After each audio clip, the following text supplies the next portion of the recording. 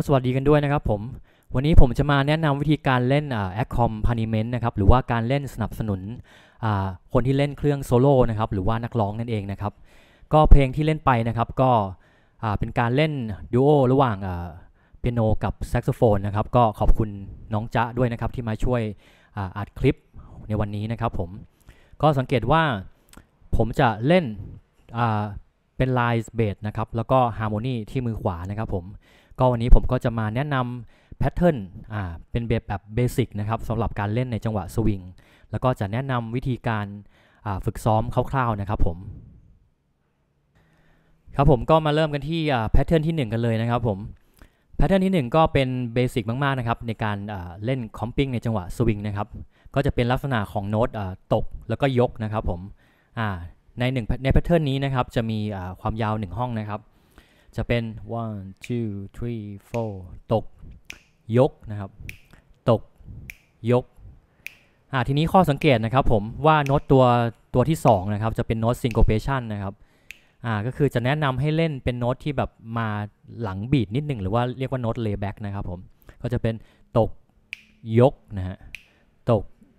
ยกนะฮะสำเนียงก็จะเป็นสั้น ยาว สั้น ยาวนะครับ ก็คือเล่นให้เกิด ความรู้สึกโยนนะครับผม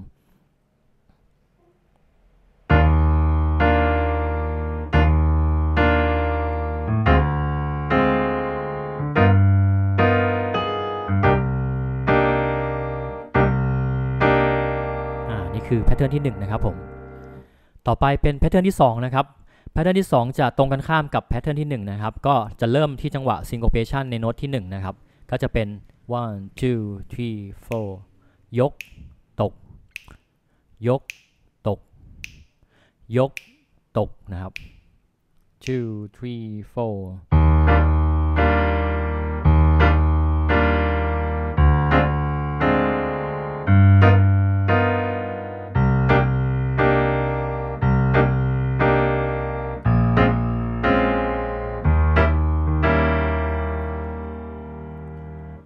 ครับผมต่อไปเป็น pattern ที่ 3 นะครับ pattern ที่ 3 จะ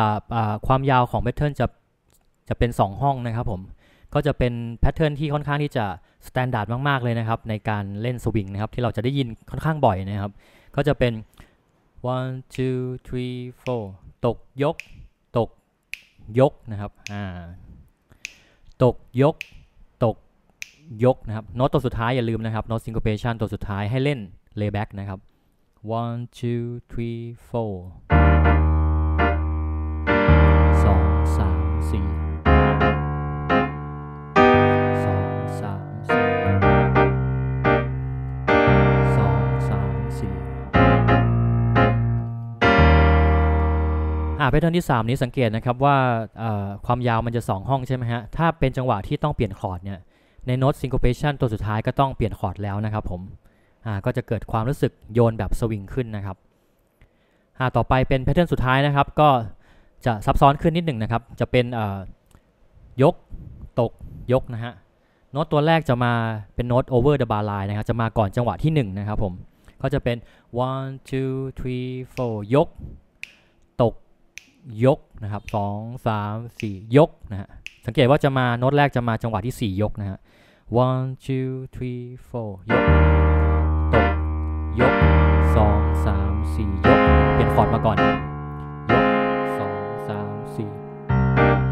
อะโทษนะครับ one two three four ยก ตก ยกสองสามสี่ยก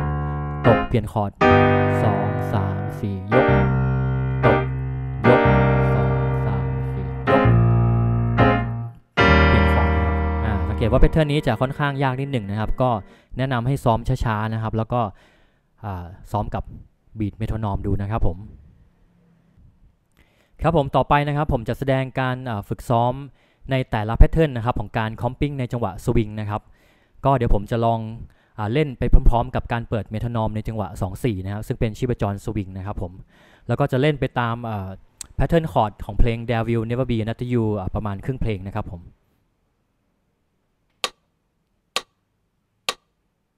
เริ่มที่ pattern ที่ 1 กันก่อนนะครับ one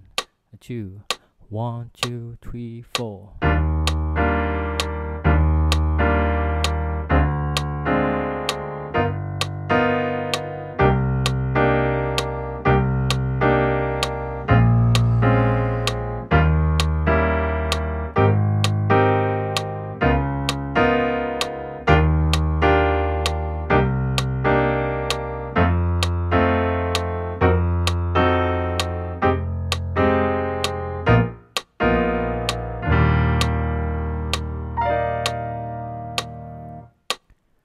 ต่อไปเป็นแพทเทิร์นที่สองนะครับผมเป็นตกเอ่อเป็นยกแล้วก็ตกนะครับ one two one two three four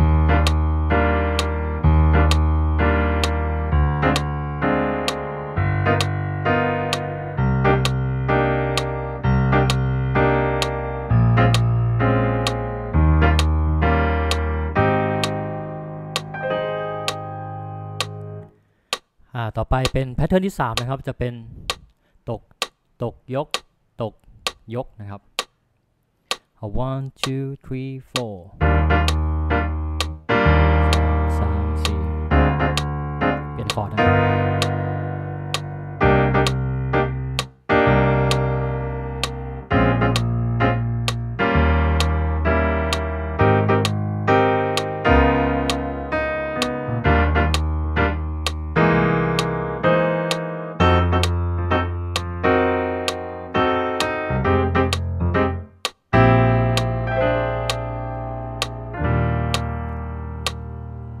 ต่อไปแพทเทิร์นสุดท้ายนะครับผมก็เป็น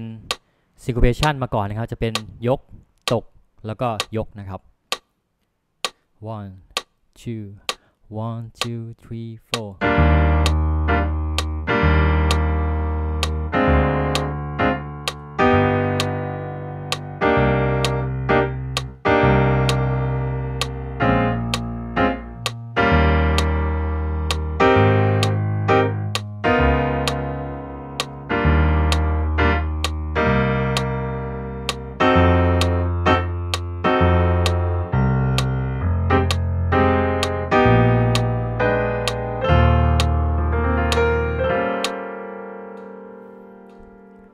ก็ลองฝึกกันดูนะครับผม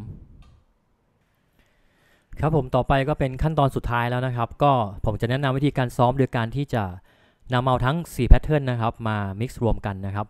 โดยที่จะรันไปตามโครงสร้างคอร์ดเชงนะครับ เพลง Devil Never Be Another You นะครับผมก็จะเป็นลักษณะของ variation นะครับ one two one two three four